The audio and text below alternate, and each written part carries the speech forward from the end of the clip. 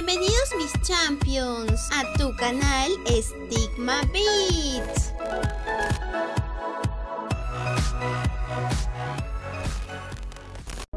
Champions, ¿qué tal? En el primer video de la semana, atentos los hinchas de Alianza Lima, porque conocerán qué jugadores se quedan y quiénes se van para la temporada 2023. Luego de haber realizado una brillante campaña en este 2022, la nueva misión de Alianza Lima es superar sus logros en la próxima temporada y volver a tomar la gloria, por lo que se empieza a reforzar sus filas en este mercado de fichajes. En el canal nos encargamos de investigar qué jugadores se quedarán y de las posibles salidas de otros, finalizando el mes de diciembre. Empezamos con el chaval. Benavente llegó como una de las más grandes promesas de Alianza Lima para la temporada 2022. Sin embargo, su lesión en el tobillo lo alejó de la cancha por buen tiempo. En el club íntimo solo jugó 12 de 34 partidos a mitad de la temporada, los directivos quisieron renovarle por dos años más, pero luego de su lesión las conversaciones quedaron paralizadas.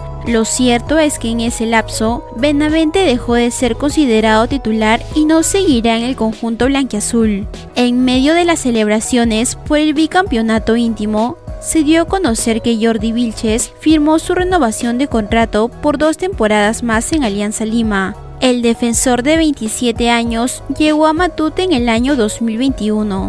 Aldair Rodríguez es uno de los jugadores que también culmina su contrato con Alianza Lima. El atacante se convirtió en pieza clave para el bicampeonato en este 2022. Aún no se tiene información sobre su futuro, por ello se esperan noticias a la brevedad.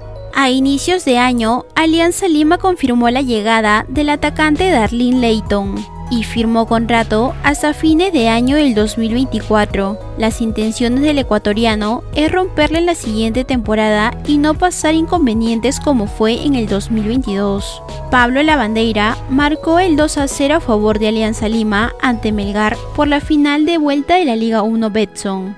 El jugador marcó lo que podría ser uno de los goles más importantes de su carrera y del club blanquiazul. El nacionalizado peruano seguirá en el cuadro victoriano debido a que tiene contrato hasta el 2023 y buscará el tricampeonato. Además, peleará la tan ansiada Copa Libertadores, Fernando Fara, una de las cabezas más importantes del Fondo Blanquiazul, conversó con DirecTV TV y anunció que Hernán Barcos es uno de los fijos de Alianza Lima para el 2023. El argentino se ha ganado el derecho de una posible renovación y la directiva ve esto con buenos ojos. Jefferson Farfán afirmó que tiene intenciones de quedarse en el club, hasta se bajaría considerablemente el sueldo pero la última palabra la tiene el fondo blanqueazul. Finalmente, Jairo Concha tendría planes para partir al exterior el próximo año. Bayón se quedará una temporada más en Alianza Lima. Y bien Champions, hasta aquí llegó el video. Espero que les haya gustado esta información y si es así, déjamelo saber con tu buen like. Nos vemos en el próximo video.